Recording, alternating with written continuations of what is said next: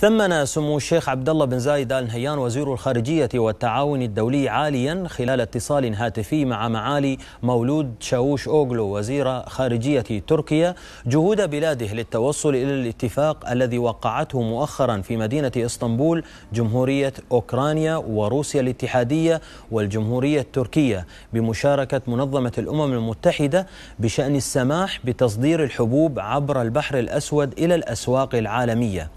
ووصف سمو هذا الاتفاق بالخطوة المهمة التي تجسد أهمية تعزيز التعاون الدولي في مواجهة التحديات العالمية والعمل نحو إيجاد حلول فاعلة لمنع حدوث أزمة غذاء عالمية.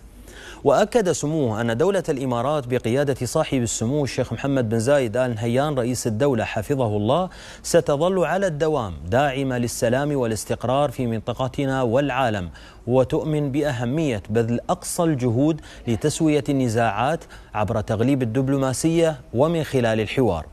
كما أكد سموه دعم دولة الإمارات لكافة الجهود والمبادرات الرامية إلى ترسيخ دعائم الأمن والاستقرار الإقليمي والعالمي بما يسهم في تلبية تطلعات الشعوب إلى التنمية والازدهار.